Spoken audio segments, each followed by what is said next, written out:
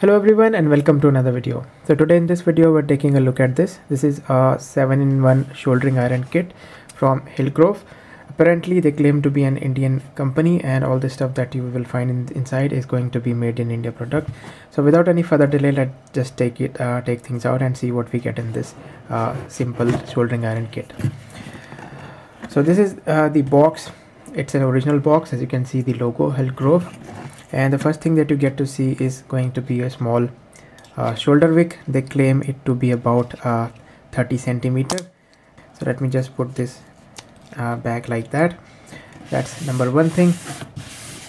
The other thing that you will get is uh, some solder flux. This is 15 grams and as you can see it also says made in India. Let me take this out.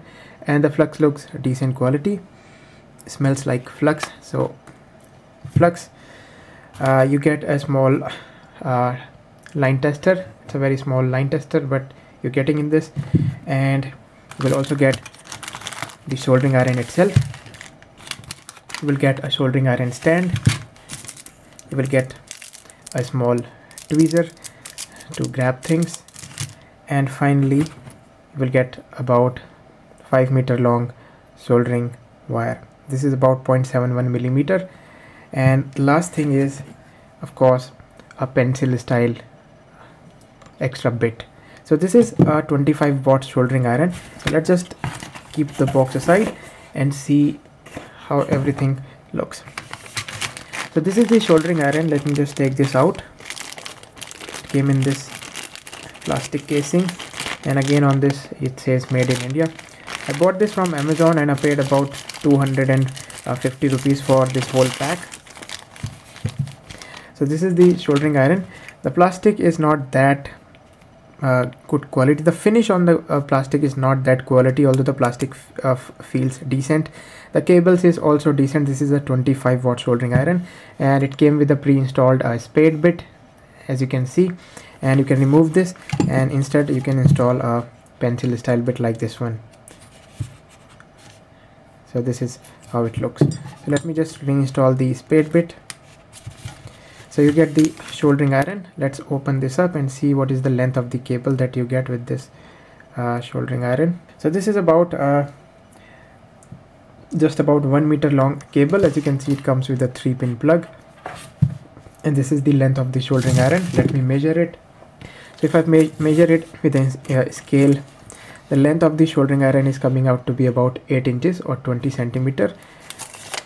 So the soldering iron feels decent. Here is your hook the other thing you get is a small tweezer that you can use to grab a small SMD components which is helpful when grabbing some small LEDs recently I was trying to repair the uh, tube light which is what I'm using to illuminate this video and I was uh, having to flick the LED off of the board.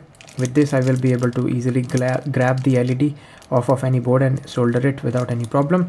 So that's a good addition. So that's one that's two three four five six and seven.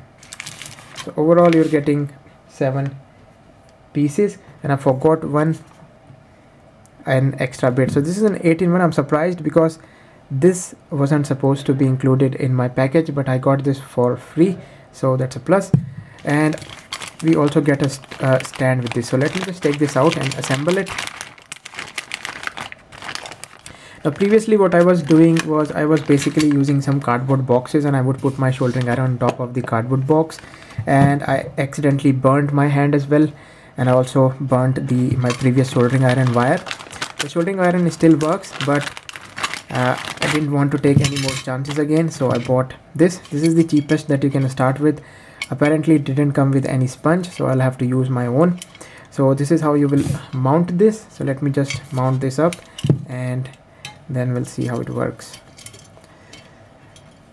So if you're just starting out with soldering I think you should have a stand. Stand is a must in my opinion. I thought stand wouldn't be needing I wouldn't be needing a stand but once I started doing a couple of projects I realized that stand is very very important because uh, you don't have a lot of things to put your soldering iron on. I was using some wooden blocks sometimes cardboard boxes and I was burning the wooden block and whatnot each and every time I was taking my soldering iron out. So this is the cheapest option. I mean, I mean look at this. All of this we got for like 250 rupees sitting in my house. So this is how the looks. Sturdy enough.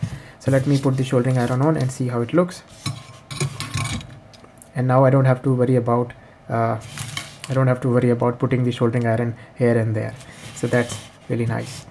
You'll also get this uh, 5 meter long uh, 0.71 uh, soldering wire and the tweezers. Let me just turn the soldering iron on. Okay so let's uh, turn our soldering iron on. So I've got the extension here. Let me just plug that in. So it's plugged in now.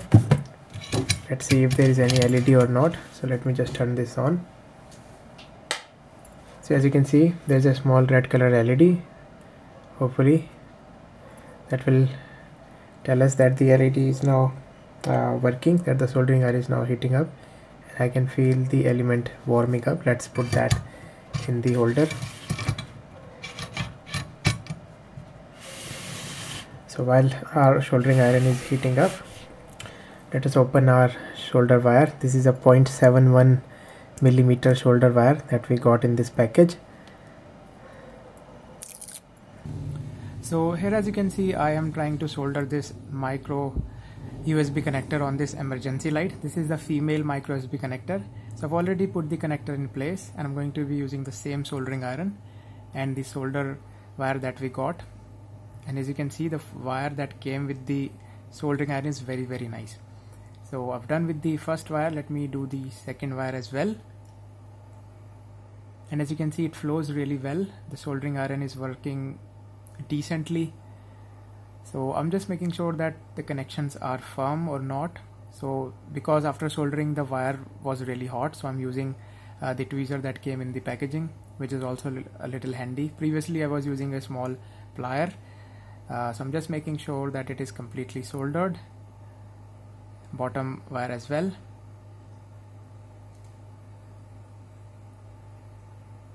And I'm just reflowing that once again. So as you can see it is working really well. The wire is soldered. So I've got my power bank here. Let me connect a micro USB cable. And previously I couldn't use a micro USB cable on this emergency light. And now as you can see after soldering the connector I am able to use this emergency light with a normal power bank. So it's a decent purchase in my opinion. So there we go guys. This was my video on this uh, Hillgrove, the cheapest soldering iron that I was able to find on the internet. And I've been using this for more than an year now. That is correct. It's been more than an year since I bought this. And as you can see the tip has become a little black which is normal for any soldering iron. The stand is working fine. Uh, the other tip has also turned a little black which is also normal. So I've do, used this for a couple of projects and it has worked really well for me. I, I was really happy with the cable uh, the soldering wire that came with this. So overall this is a decent soldering iron.